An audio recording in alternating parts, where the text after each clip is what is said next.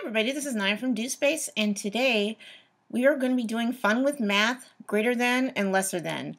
When I was younger, I had always had trouble with this method. I had always gotten confused, and sometimes I get confused to this day.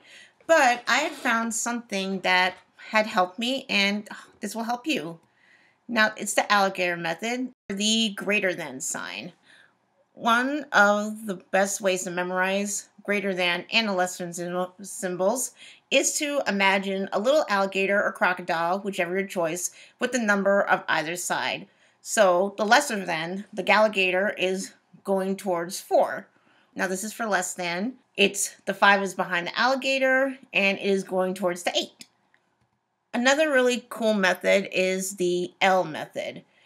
It starts with an L, so the symbol looks like an L, often meaning lesser than. And that's it. Those are the methods that I have used to learn how to do greater than and lesser than signs.